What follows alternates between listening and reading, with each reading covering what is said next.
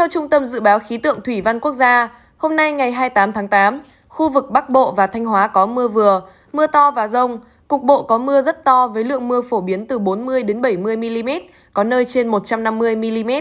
Từ chiều tối ngày 28 đến ngày 29 tháng 8, khu vực từ Nghệ An đến Quảng Bình có mưa vừa, mưa to và rông, cục bộ có mưa rất to với lượng mưa phổ biến từ 20 đến 50 mm, có nơi trên 100 mm.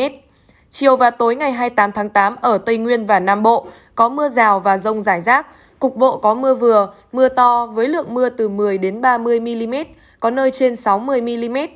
Thời tiết hôm nay ở khu vực từ Quảng Bình đến Ninh Thuận có nắng nóng và nắng nóng gay gắt, với nhiệt độ cao nhất ngày phổ biến từ 36 đến 38 độ, có nơi trên 38 độ. Độ ẩm tương đối thấp nhất ngày phổ biến từ 45 đến 50%. Từ ngày 29 tháng 8, nắng nóng giảm dần.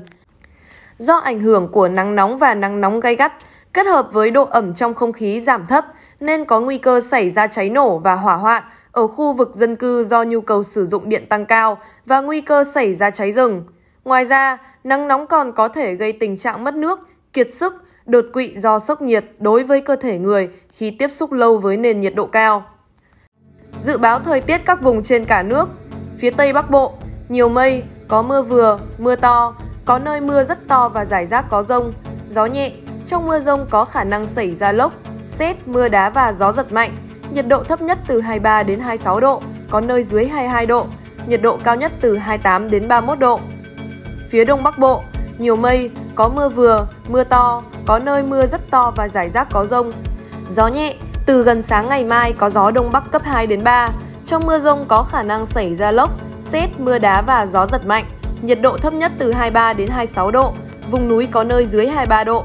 Nhiệt độ cao nhất từ 29 đến 32 độ. Khu vực từ Thanh Hóa đến Thừa Thiên Huế, phía Bắc nhiều mây, đêm có mưa rào và rông vài nơi, ngày có mưa rào và rông rải rác. Phía Nam có mây, chiều tối và đêm có mưa rào và rông vài nơi, ngày nắng nóng, gió Tây Nam cấp 2 đến 3.